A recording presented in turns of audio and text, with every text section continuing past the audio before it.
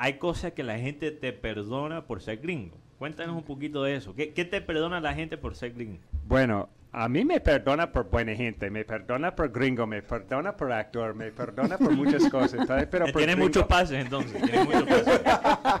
Pero bueno, eh, no, hay muchas cosas. Yo me acuerdo que cuando estaba en Medellín tenía, eh, o sea, yo tenía mi pase de, de manejar, pero Ajá. manejar aquí en ese país es otra cosa, es una aventura.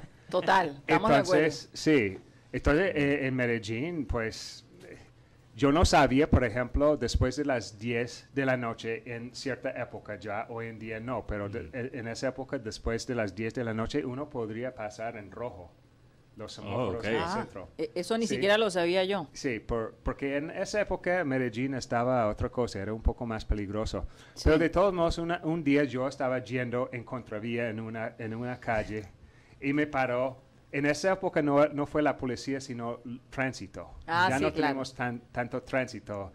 eh, o- o creo que lo eliminaron. Ya El- son el- más el- como la policía, tránsito. Pero, es que yo creo que es, es como un- no estoy segura, la verdad Antes que eh, no. estaban en, en vestidos en azul. ¿sí? Ok. Eran, y se Es verdad. llamaban tránsito. Sí, es verdad. Regulador de tránsito. Ajá. Sí. Entonces eran me policías. pararon uno de esas personas, hey, tú estás, tú En estás en contravía, que no sé qué, y bla, bla, bla, y, y, y- y yo, oh. Entonces yo comenzó a hablar inglés. Oh, oh, hello, how are you? Oh, what? What? Oh, I don't understand, I don't understand. Te hiciste Oh, loco. eh, Oye, y tú sabes que eso también Cyril Gaydos lo hizo un día. Conmigo aquí en Barranquilla, un cruce. Y dijo, no, es que yo soy gringo y empezó a hablar así y tal, y le perdonaron la Sí, cosa. claro. Eh, y además el, pass. el muchacho no hablaba nada de inglés, entonces daba mucho pe- mucha pena. Entonces, ah, eh, oh, eh, Siga, goodbye, goodbye. Ahora, ahora, dime la verdad, Jason. ¿Tu acento gringo e- es, es real o lo has mantenido por ese pase gringo? Eh, eh, bueno, también me sirve, pero yo... eh, sabemos que ciertas nacionalidades, por ejemplo los argentinos, Sí. son muy orgullosos de su país, entonces encantan mantener su acento. So- también de claro, pronto, claro. aquí también eh, hablamos de, de países, Sí. ¿cierto? Sí. Eh, Hasta países hablan inglés con un Con el mismo acento país, sí, Incluso total. mi abuela, del lado de mi padre, nunca perdió su acento en Ni inglés. tampoco lo quiso perder. No, sí, eso es lo que yo decía. Gracias. Eh, nunca lo quiso perder por ese orgullo. Ella quería que la gente supiera que ella era colombiana. Bueno, en mi caso no, porque yo quisiera hablar perfectamente el español eh, eh, en todo sentido. Lo que pasa es que he, he hecho un estudio de eso profundo, porque como yo también dicto clases de inglés, como yo también soy actor y ha- hago estudios de las personas, de los idiomas, de eh, vocalización, de fonética, de toda esa cuestión. Y había muchos estudios que dicen después de cierta edad. Después de los ocho años, entre- aparentemente.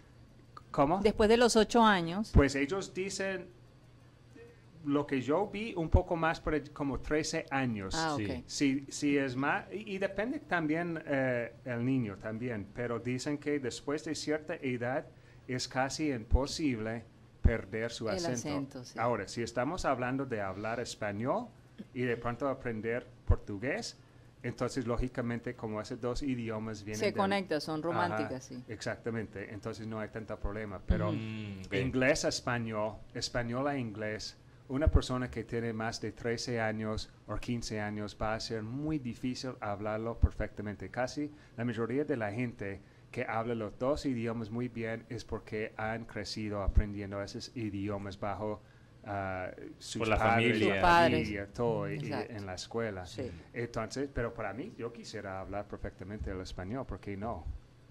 Y bueno, yo, yo te digo, porque tú haces un acento costeño, cuando imitas los costeños lo haces muy bien. Sí, claro. Sí. A- además, paisa. Y haces paisa también. Pero vamos, Sí. primero que haga como Ajá. costeño. Bueno, lógicamente, ese es un acento costeño. Ajá.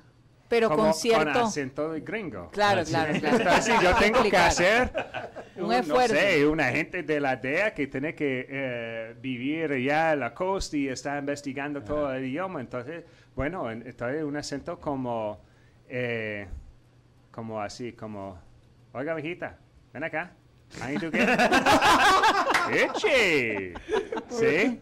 Entonces, y uno va con ciertas cosas aprendiendo y Sí. aprendiendo. Y eso es lo que yo también quiero enseñar aquí en mis clases de actuación, porque los colombianos podemos comenzar a formar un instituto de actuación donde verdaderamente enseñen una técnica de, de actuación combinado con inglés que sirve para comenzar a ganar personajes en inglés, porque ya inglés. estamos viendo Netflix, eh, 21st Century Fox, ya vemos a esa, esa muchacha de Cartagena que salió en- con Arnold Schwarzenegger en Terminator. Ella se llama Na- na- Carolina. no, Natalia Ah, Reyes. Natalia Reyes. Natalia Exactamente. Que también Entonces- estuvo en Pájaros del Verano. Sí. Ajá, entonces que tenemos un grupo de actores que, hey, mira, esos actores son muy buenos y también hablan inglés. Tú me contabas algo interesante cuando estaba filmando eh, Naranjo. Sí. Eh, esta cubana, esta actriz cubana, Ajá. que hacía el papel también de un agente de la DEA, Rita Cienfuegos. Rita Sinfuegos, que aparentemente ella no hablaba nada de inglés. No, aparentemente no. Ella No habla hablaba. nada, ni, ni, Ni- papa, ni ningún papa. lado. Entonces, eh, eh, la producción estaba un poco preocupada porque ella no hablaba el inglés y aparentemente tú le ayudaste a aprender las palabras que tenía que decir o por lo menos parte de su de su guion, ¿no? En- Claro, en eh, sí, casi todo. O sea, nosotros fuimos mirando todo, los libretos, saquemos todos eh, el parlamento donde ella hablaba en inglés y comenzamos a estudiar ese parlamento, pero lo estudiamos en otra forma. O sea, la manera que yo enseño inglés por actuación es pura hablar y comprensión.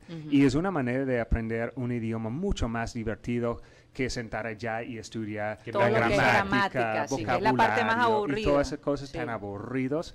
Entonces, eso es mucho más divertido. Entonces, nosotros, yo tengo una técnica que me ha servido mucho y si yo sabía esa técnica antes que llegué aquí a este país, Sí. yo también hubiera aprendido mucho mejor el español. ¿Por qué? Porque yo estaba eh, aprendiendo español como ustedes están aprendiendo inglés, con Memorizando. gramática, memorizando, vocabulario, que, es, que es muy aburrido. Sí. Y además uno comienza a hablar golpeado porque está aprendiendo un idioma por palabra. Sí. Entonces, yo eh, voy, yo voy a ir al banco.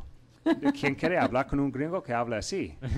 ¿Sí me entiendes? Ok, Al- chao. al- alguien que necesita comer, alguien que, que está buscando el pago o hablar con un Eh, Yo, eh, yo una, pre- una ah. pregunta y es, es, bueno, es muy importante aprender los dos idiomas, español e inglés, para un actor que quiera trabajar en Hollywood en una, en una, en una serie de este tipo de cosas. Escuchaba yo a un scout de béisbol que muchos jugadores colombianos que están en, la gran, en, los, en las divisiones menores no han subido todavía porque no quieren aprender a hablar inglés. Y entonces eh, así no pueden entender lo que quiere decir el manager el sobre coach, ese tema. sí. Claro. ¿No, no tuvimos un poco... eh, El, eh, Peckerman es de... Argentina. De Argentina. Argentina. él es de Argentina. Ah, bueno, listo, pero he, he visto que eh, en- también eh, en fútbol hemos tenido nuestros jugadores o, o también de otros países que están llegando, de otros países que hablan otro idioma. Y es muy importante porque digamos que inglés, digamos, es eh, el idioma mundial. Sí, Sí, sí, sí, claro. Ah, entonces, Aunque el chino rápidamente. está- sí, pero, pero chino, pero chino saben inglés. Inglés, claro. Entonces, si uno mucho- encuentra con una persona que ni, si por ejemplo Ni un chino español ni otro idioma, pero por lo menos inglés. tienen inglés, Es el que punto de el encuentro. básico, que Exacto. pueden comunicar, porque todos sabemos que... Y, y, y la cosa que, que uno tiene que entender, sí, yo tengo un acento, yo quisiera no tener un acento, pero yo no tengo vergüenza de mi acento y no me siento mal con mi acento, porque yo puedo comunicar con la gente, que es lo más Sí, importante. puedes Así es. vocalizar Entonces, y proyectar. Mucha bien. gente, ex- y, y es chévere hablar con la gente. Entonces, Sí. muchas personas se quedan atrás porque tienen pena, porque quieren hablar inglés perfectamente de una. Mm. Exacto. Y eso nunca va a pasar. Y lo más bonito de aprender un idioma Es es, que tú puedes comunicar con otra persona en ese idioma.